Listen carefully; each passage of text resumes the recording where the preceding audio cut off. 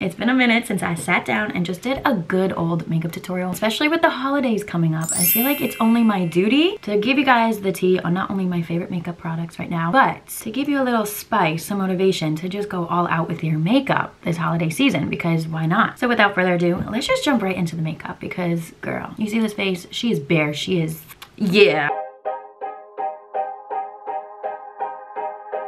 I feel so awkward right now. I'm not even gonna lie because I don't have my music. I usually have my music to like bounce off ideas. I don't know, there's something about listening to music that makes you feel a little bit more open and free. And there's nothing behind me because YouTube wants to be a little rude and copyright me all the time. But anyways, we're gonna start with the brows. I'm taking the Anastasia Beverly Hills. Beverly Hills, what? Wait, no, that is right. Get your shit together, bitch. I do have my brows laminated. It is slowly but surely fading away. We're just gonna get these bitches right and tight. Look at this. Oh my god. But what I like to do is basically like brush it through my brows the opposite direction, really get it coated up in there, and then go back in and laminate them shits like get them so straight and flat the skin. I also really do like the Anastasia brush, this little like paddle thing, really laminate them down. Like these brows ain't going nowhere. I do like brushing them through. It's kind of a process. Lying them straight and then making them look fluffy. I like a fluffy laminated brow. Starting with my eyes first, just so we can really like carve it out. And I'm gonna use tape. This is literally just regular tape. I should probably invest in like some makeup tape for your eyes because I don't know if this is good to put it on your skin, but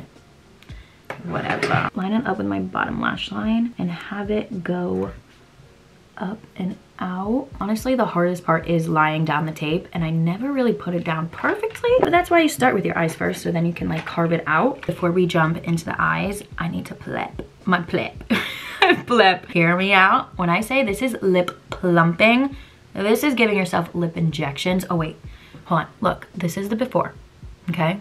Nothing crazy. I have small lips. This is from Polite Society. This is going to do it for you. Like it low key, sometimes I have to take it off because it's insane. The Big Mouth Lip Plumping Oil Lip Gloss. First of all, it is so hydrating and it makes the lips look perfect. I just, I love a good glossy lip, okay? It makes me feel powerful. It makes me feel good. I don't even know how to explain it, but like it low-key makes the lips feel numb a little bit. But let me just say, if you don't like the feeling of something plumping, that's gonna like, you know, cause that tingling sensation, you might not like this, but if you love that, you gotta try this because it's insane. Like I can't even explain what it feels like. Long story short, you can feel it working, you can feel it's working, and it's so freaking good, okay? Moving on from the lips.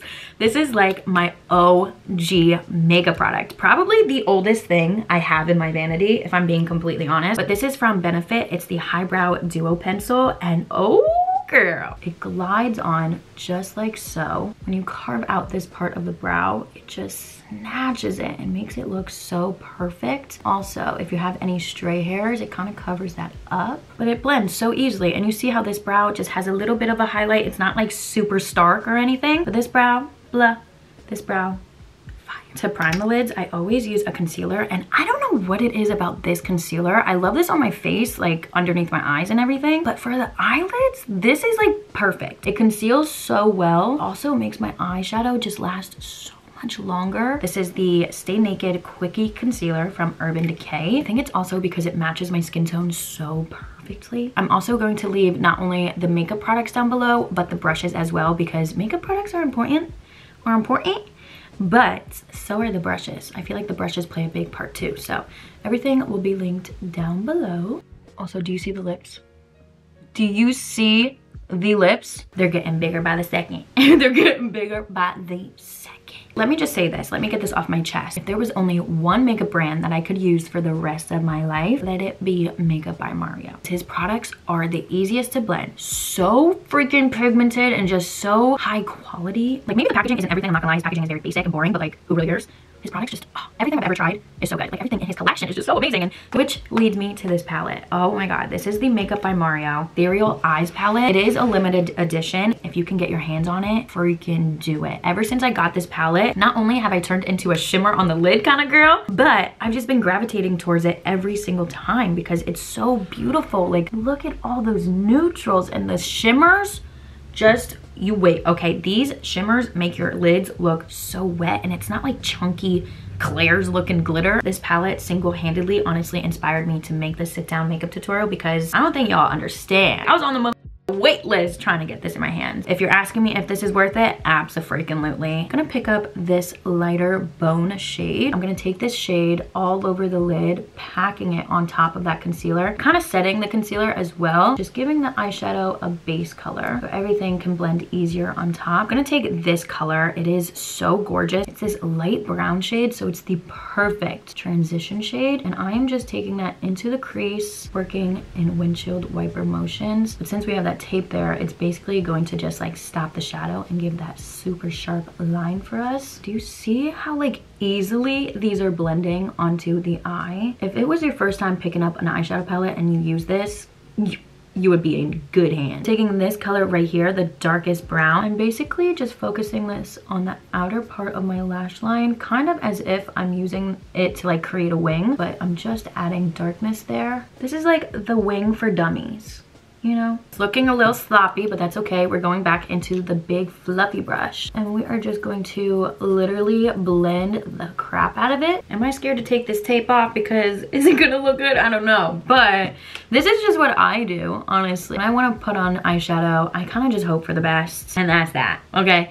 Like my cup of tea is doing my base makeup. Eyeshadow is not my favorite thing to do, but sometimes you just gotta do it for the look, you know what I mean? I'm gonna take this like chocolate this milk chocolate brown, lighter brown situation. Take that into the crease and darken the crease up just a tad and blend that in with the darker shadow on the side. Just add a nice little pop. I think I'm actually gonna take this gold. They all are stunning. Even this gorgeous, hold on. This color and this color, they are a little bit darker, but look, like, ah, ah, you see how gorgeous? So beautiful.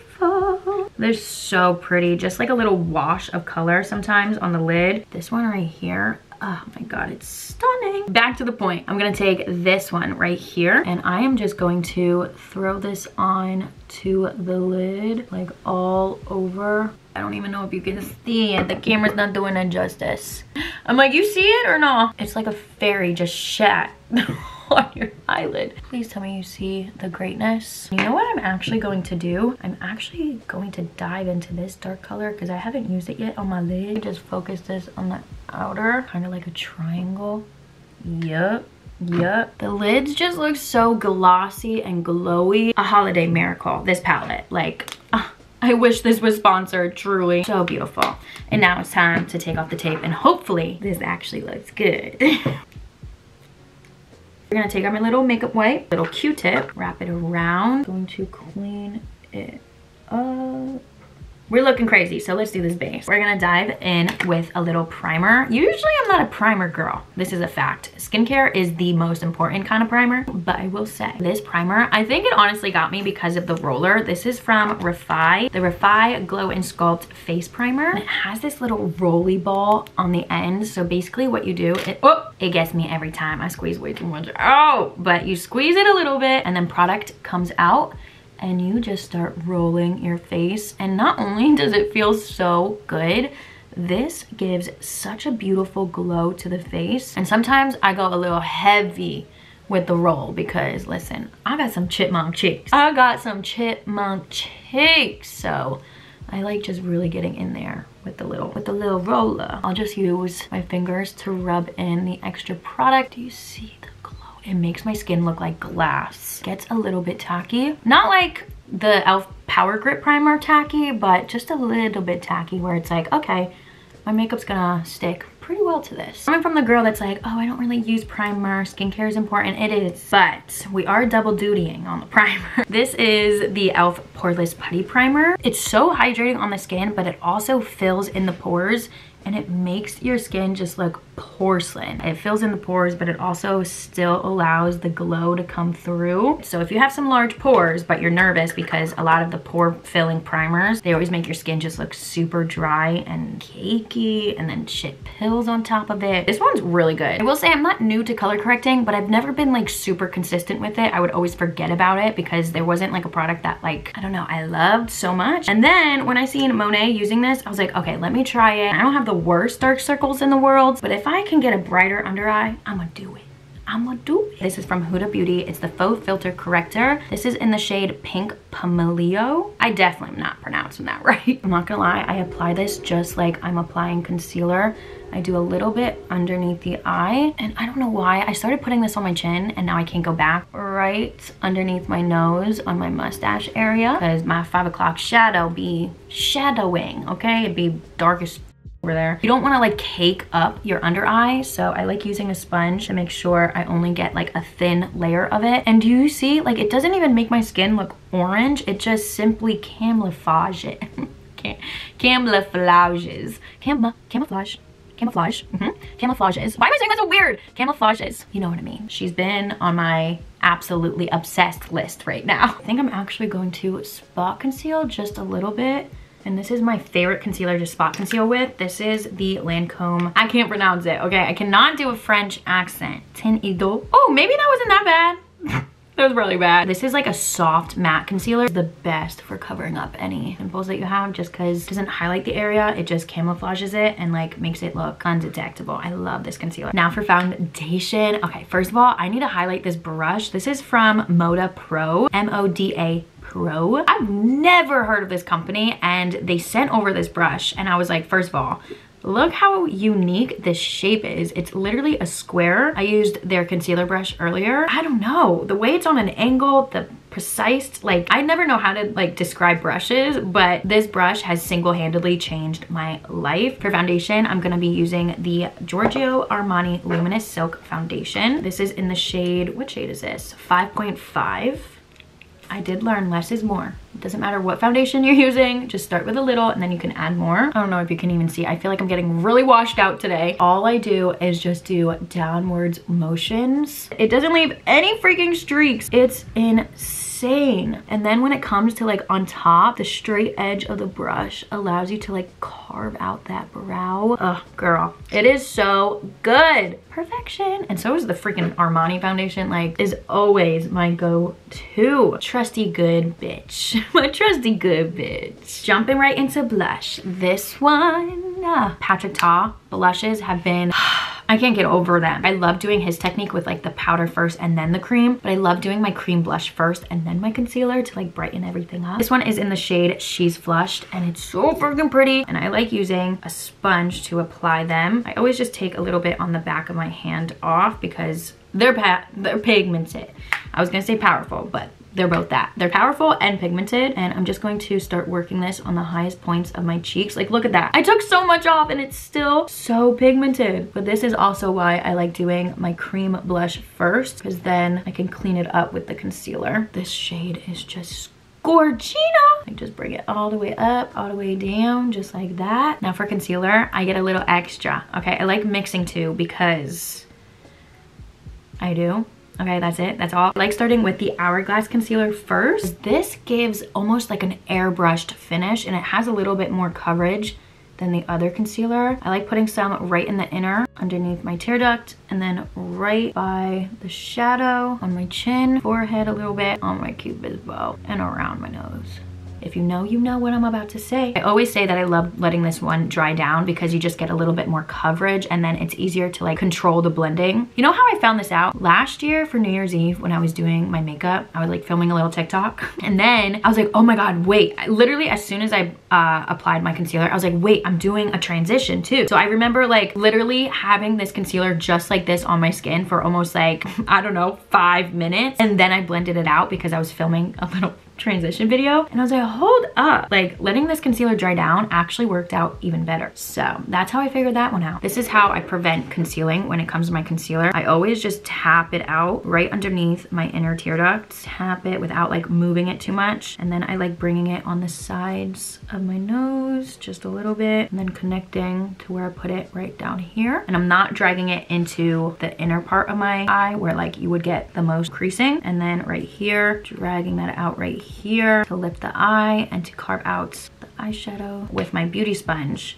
I'm taking it, patting over everything, and then kind of connecting right in here. Now, since we didn't apply that concealer nor blend it directly underneath the lash line area, you're gonna prevent the creasing because there's not much product there. Maturing is realizing you're gonna crease no matter what. Like you just have eye wrinkles under there, you know? So the less product, the better is what I'm trying to say. When it comes to like the chin and stuff, I kind of just use my sponge because, I don't know, it's quicker, it's faster. In between here, I like using my brush because then I don't get any on my brows. Mm, that's how you get the best eye concealer blend out, period. But this one, I didn't even mean to. I got this in such a light shade. This is the Mario concealer. This is in the shade 160. It is so light, but it brightens so well. And it's like a smooth, serumy kind of texture. I would say this is light to medium coverage, not even. Like you have to build it up to get some coverage. But I love how this brightens up my under eye and it just so creamy and hydrating. Mixing these together, so amazing. Oh no, I'm a little extra when I do my makeup. For this part, I just take my sponge, keeping that product where I placed it right in the center. Since it's so thin and we don't really have much concealer over there, I don't mind dragging this one all the way across. It lifts that bitch. It's so beautiful. I can't believe this. I literally forgot to use cream bronzer. What is wrong with me? What is wrong with me? I'm using the Makeup by Mario stick and I'm actually warming it up on the back of my hand first. I'm gonna take this Sonia Kashuk buffing blender. Gonna take it, whatever's on the back of my hand. I'm going to plop it right underneath. Yes. I'm gonna go back in with the blush too because a girl up. I'm gonna put a little on my nose. Obviously, we gotta get the chin, the chinny chin chin, the jawline. I'm getting like right behind, right behind that jawline, jawline, the jawline. And now I'm gonna go back in with the blush because I can't believe myself. Just a little bit.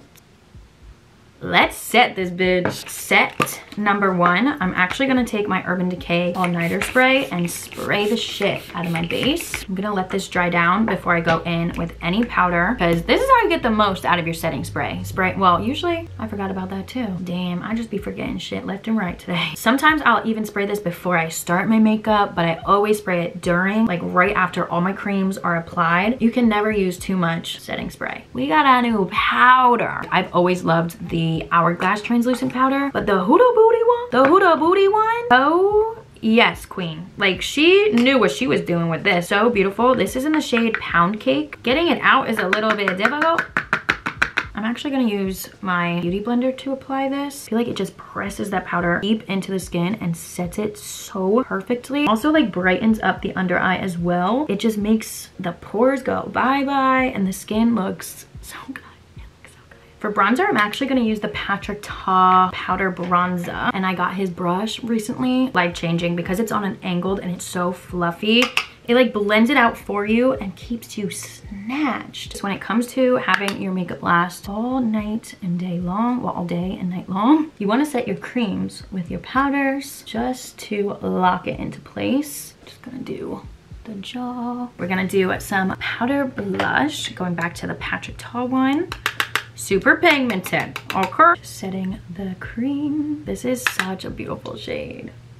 You see it just brings it together and it's like oh okay okay. This is a look now. I like when my cheekbones are just like blushing you know Ah, I love this blush so freaking much. Now we're gonna do a little more setting spray, but this time taking like a hydrating one to melt everything together. This is from Ciate London. It's the Everyday Vacay Dewy Coconut Setting Mist. And it smells so freaking good.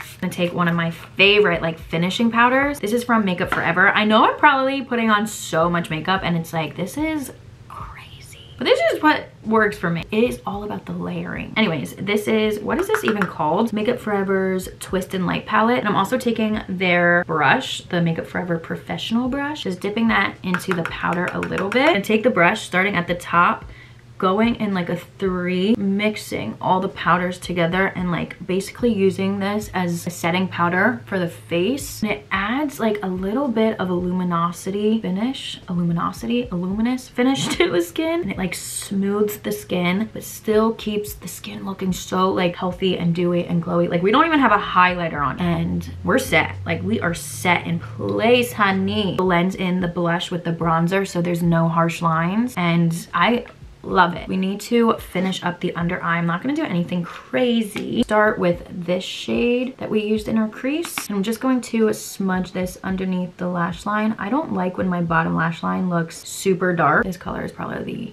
only one that I'm gonna use because I have very small eyes and once I go super dark, forget about it. They are going MIA. I'm kind of lining this up with the other shadow, kind of connecting it. I actually invested in a new eyelash curler. This was from Shiseido. Well, it is from Shiseido and it does it. I mean, I will say I have a lash lift and tint. So my lashes are still a little bit curled. I don't know if you can tell because it kind of is fading away. But this freaking curler. And now for my favorite mascara. I'm a brown mascara kind of girl. Brown mascara just makes the eye look a little bit more sexier, softer, especially with my brown eyes. I think it makes it pop. And this Lash Clash, I'm using this for so long. I'm quite literally obsessed. See how it just adds like a softer effect to the eyes? It is gorgeous. Moving on to the lips. I've been rocking a red lip with everyday makeup, full glam makeup. It's just, I don't know. It's the fall color. Just, oh, it's the fall color and I just feel so confident in the red lip. It's everything. And this one's like a muted red. It's like a casual red, not like a holiday stark in your face kind of red. This is the Makeup Forever Artist Color Pencil in the shade Universal Earth. Mmm, Damn, oh my God, I got sloppy with that.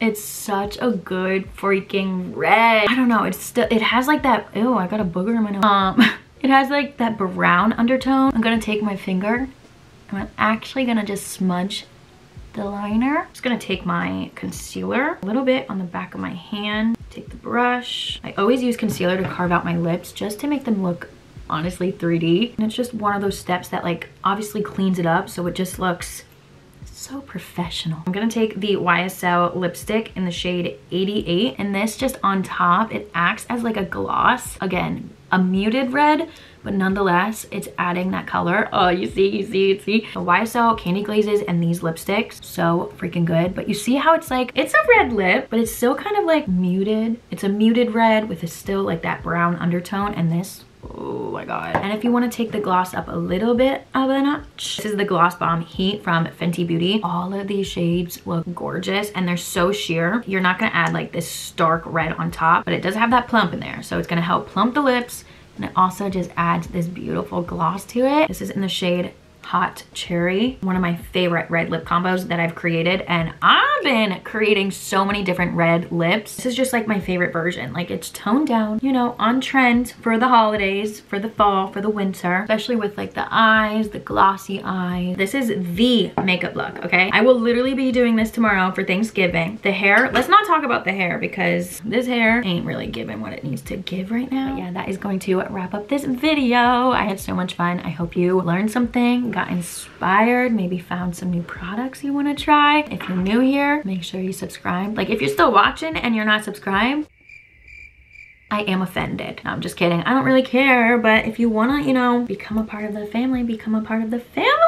Have a beautiful Thanksgiving, eat so much food, and I'll see you all in my next video. I love you so much. Bye.